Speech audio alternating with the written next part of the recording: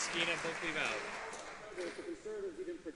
to defend the Canadian public service.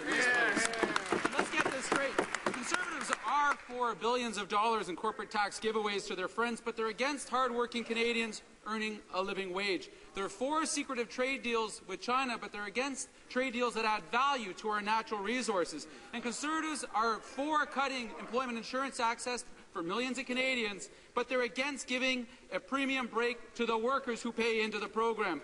Will the minister finally do the right thing and reinstate the federal minimum wage and help lift tens of thousands of working Canadians out of poverty? Hear, hear. The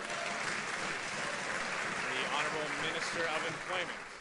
Mr. Speaker, in fact, uh, Canadians at all income levels have seen their incomes rise since this government came to office. They've seen their net worth increase. Mr. Speaker, the NDP is opposed to every measure to assist with that. This government has removed from the tax rolls some 850,000 low-income Canadians, measures that were opposed by the NDP. This finance minister just cut premiums to help small businesses create new jobs, a measure opposed by the NDP. This government is supporting our energy industry, the single greatest creator of high-paying jobs, an industry opposed by the NDP. This government is creating new energy and market uh, agricultural markets, Mr. Speaker. All measures opposed by the NDP. We stand by working.